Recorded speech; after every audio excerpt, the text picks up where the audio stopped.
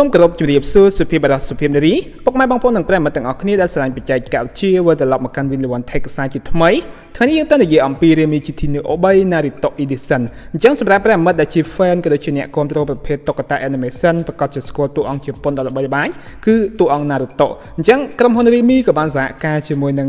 ក្រុមហ៊ុនតុក្កតាជប៉ុនដ៏ល្បីគឺ Naruto នេះបង្កើតបានជា smartphone Realme GT Neo 3 Naruto Edition អញ្ចឹងគឺតម្រូវចិត្តសម្រាប់ប្រិមិត្តដែលស្រឡាញ់ជាមួយនឹងខ្សែភាពយន្តក៏ដូចជាស្រឡាញ់ជាមួយតួអង្គ Naruto នេះអញ្ចឹងសម្រាប់ smartphone នេះគឺពិតជាស្អាតខ្លាំងមែនទែនគេយកជាមួយនឹងនិមិត្តសញ្ញាក៏ដូចជាគ្រឿងក្រៅហ្នឹងគឺស្តៀងជាមួយនឹងតួអង្គរបស់ Naruto តែម្ដងនេះគឺជាប្រអប់របស់វាដែលមានពាក្យថា Realme គុណនឹង Naruto បាទប្រអប់របស់វាគឺស្អាតខ្លាំងមែនទែនបងប្អូនជាប្រភេទស្បែកនៅខាងក្រៅអញ្ចឹងសម្រាប់ smartphone នេះអាចហៅបានថាជា limited edition ដែរដោយសារតែវាមិនមានច្រើនពេកនោះទេបងប្អូនគឺ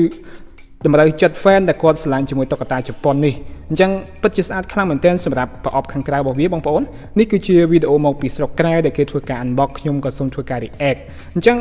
យើងឃើញមានសូម្បីតែបញ្ចូលចាក់ស៊ីមរបស់វាក៏មានជាមួយនិមិត្តសញ្ញារបស់ក្បាល Naruto ដែរសម្រាប់កន្សែងដែលគេចងក្បាល Naruto នឹងឯងអញ្ចឹង smartphone នេះមានជម្រើសចំនួនមួយពណ៌ទេបងប្អូនហើយពណ៌របស់វាគឺកាត់បញ្ចូលគ្នាគឺពណ៌ទឹកប្រាក់ពណ៌ខ្មៅក៏ដូចជាពណ៌ក្រហម និងពណ៌លឿងបាទក៏ដូចជាពណ៌នេះគឺស្អាតខ្លាំងមែនទែនបងប្អូនសម្រាប់ជម្រើសពណ៌នេះគឺលយបងប្អូនគឺវាតំណាងជាមួយនឹងលក្ខណៈសម្បត្តិខោអាវរបស់តួអង្គ Naruto តែម្ដងរូបរាងខាងក្រៅរបស់វាគឺលយបងប្អូនសម្រាប់ការរចនាបែបនេះគឺគេកាត់មានច្រើនពណ៌ហើយ design មកគឺតាមខោអាវរបស់ Naruto តែម្ដងអញ្ចឹងសម្រាប់ផ្នែកអេក្រង់ខាងមុខរបស់ smartphone នេះវាបំពាក់ជាមួយអេក្រង់លាតពេញគែមស្អាតតែម្ដងវាបំពាក់មកជាមួយអេក្រង់ប្រភេទ AMOLED ទំហំ6.7អ៊ីងជាមួយនឹងកម្រិតបង្ហាញ Full HD+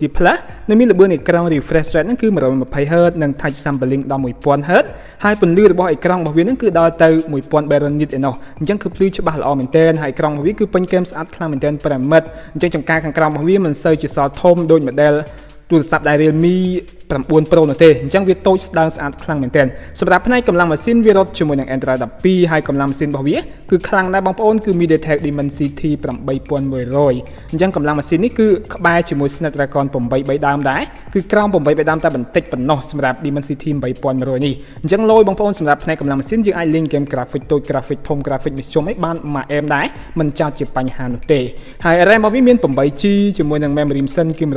256 អញ្ចឹងទៅវាដូចជាមួយ spec របស់ទូរស័ព្ទ Redmi GT Neo 3 Pro ដែរទេសម្រាប់ផ្នែកកាមេរ៉ាខាងក្រោយវា design ជាមួយស៊ុមកាមេរ៉ាជាបន្ទះពណ៌ទឹកប្រាក់និងមាន logo របស់ Naruto មានពាក្យថា Realme គុណជាមួយ Naruto ហើយកាមេរ៉ារបស់វាមានចំនួន3គ្រាប់ហើយកាមេរ៉ា Gold 50 megapixel បូក8 megapixel បូក2 megapixel ជា macro វាអាចថតវីដេអូពីកាមេរ៉ាក្រោយកម្រិត 4K 60 frame ហើយកាមេរ៉ាទម្លុះអេក្រង់ចំកណ្ដាលចិញ្ចើមខាងមុខគឺមានទំហំ16 megapixel អញ្ចឹងកាមេរ៉ាខាងមុខនិងខាងក្រោយរបស់វាគឺសិតតែជាកាមេរ៉ាល្អៗអាចថតរូបភាពបានច្បាស់មិនចោតជាបញ្ហានោះទេ សម្រាប់ធម្មពលថ្មរបស់ smartphone នេះគឺមានទំហំ4500 mAh ជាមួយបច្ចេកវិទ្យាសាកល្បឿនលឿនហ្នឹងគឺលឿនខ្លាំងមែនទែន5មិត្តដល់ទៅ 150វ៉ាត់ឯណោះអញ្ចឹងជាទូរស័ព្ទដៃដំបូងដែលមានល្បឿនសាកថ្មលឿនជាងគេហើយលឿនជាង Xiaomi ទៅទៀតហើយដុំសាកក្នុងប្រអប់របស់វាគឺដល់ទៅ 160វ៉ាត់ប៉ុន្តែ smartphone នេះ support ត្រឹម 150វ៉ាត់អញ្ចឹងយើងសាកថ្មត្រឹមតែជាង10នាទីប៉ុណ្ណោះបងប្អូនគឺពេញបឹបពី0ដល់100អញ្ចឹងបីដាមហាសានលឿនហើយបងប្អូនគឺលឿនខ្លាំងមែនទែនសម្រាប់ល្បឿនសាកថ្មនៅលើ smartphone នេះនេះគឺជាលក្ខណៈសម្បត្តិ របស់ទូរស័ព្ទដែលនេះបងប្អូនឃើញហើយ spec ខាងក្នុងរបស់វាគឺមិនតំណាប់នោះទេបងប្អូនគឺជា spec ដល់បង្គួរ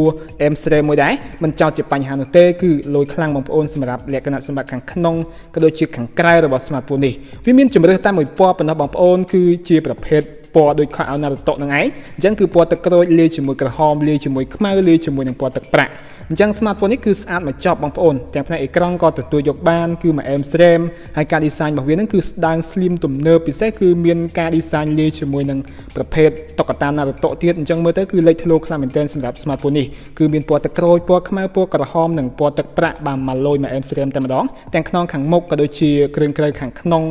ផ្នែកខាងក្រោយអីគឺសិតតែលយបងប្អូនសម្រាប់ smartphone នេះខ្ញុំសូមសរសើរអំពីការ design អញ្ចឹងទូរស័ព្ទដែល Realme តែងតែឈ្នះពានបងប្អូនគឺគេ design ចម្លែកចម្លែកនិងលយខ្លាំងមែនទែនសម្រាប់ smartphone បង្គួររបស់គេគឺ design មកគឺ M Series បងប្អូនពិសេសគឺអាមួយនេះតែម្ដងមើលទៅគឺចូលផ្នែកអ្នកស្រឡាញ់ anime តែម្ដងអញ្ចឹងអ្នក design របស់ Realme គឺគាត់ស្រឡាញ់តុក្កតា anime ខ្លាំងមែនទែនឆ្នាំមុនមាន Realme GT Neo 2ប្រភេទ Dragon Ball Goku អញ្ចឹងគឺ design ជាលក្ខណៈ anime ដូចគ្នាប៉ុន្តែឆ្នាំមុនគឺ anime ផ្សេងហើយសម្រាប់ Realme GT Neo 3នៅឆ្នាំនេះក៏ជាប្រភេទ anime anime ផ្សេងអញ្ចឹងសុទ្ធតែ anime ជប៉ុនទាំងអស់បងប្អូនគឺលយខ្លាំងមែនទែនហើយវាមិនចាញ់ជាមួយនឹង smartphone របស់ក្រុមហ៊ុន Redmi គឺ Redmi Note 11T បាទ Astro Boy Edition ដែរអញ្ចឹង Astro Boy Edition នេះគឺនៅក្នុងក្រុមហ៊ុន Redmi ហើយសម្រាប់ Redmi គេមានប្រភេទ Naruto Edition អញ្ចឹងទៅប៉ុន្តែ Naruto Edition នេះគឺវាស្អាតជាង Redmi Note 11T ប្រភេទ Astro Boy ដាច់តែម្ដងបងប្អូនអញ្ចឹងទាំងការ design ពណ៌របស់វាទាំងផ្នែកអេក្រង់ខាងមុខរៀងរើរបស់វាគឺស្អាតបាទអញ្ចឹងវាលយជាង Redmi GT Neo 3ក៏ដូចជា Neo 3 Pro ធម្មតាទៅទៀតជា design បានលយខ្លាំងមែនទែនសម្រាប់ smartphone នេះ